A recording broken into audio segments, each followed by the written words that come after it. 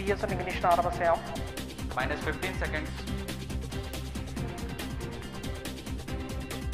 10 9 8 7 6 5 4 3 2 1 0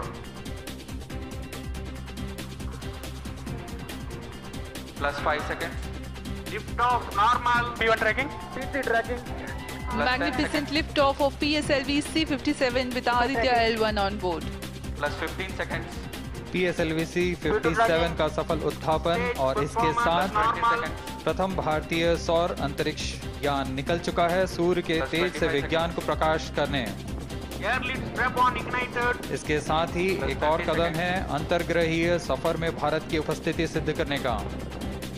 आप देख रहे हैं पीएसएलवीसी 57 प्रथम चरण पूरी तरह सामान्य The rocket flying forth, following nominal trajectory and developing nominal thrust. The bright fumes against a clear midday sky. rocket launch is more than just a sight to behold. The roaring sound and the vibrations that we can feel here. Adding to this, the thrill are just amazing. ground lit and air lit strap-ons operating together with the first stage S139. Ground lit strap-on separated.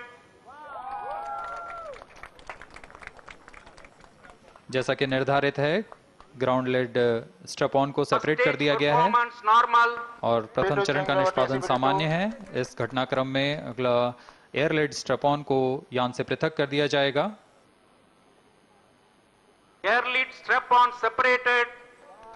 जी हाँ इसकी भी पुष्टि हो गई है स्ट्रप on को सफलतापूर्वक पृथक कर दिया गया है We are 100 seconds past the launch time. The ground lit and air lit strap-ons have been separated. S139 motor still thrusting. S one thirty nine First एक सौ stage दस separated. सेकेंड के प्रज्वलन Second काल के पश्चात उसे. भी पृथक कर दिया गया है initiated. plus 2 minutes द्वितीय चरण जो कि तरल नोदक पर आधारित चरण है इसका प्रज्वलन शुरू हो चुका है और वर्तमान में प्रणोद उत्पन्न कर रहा है.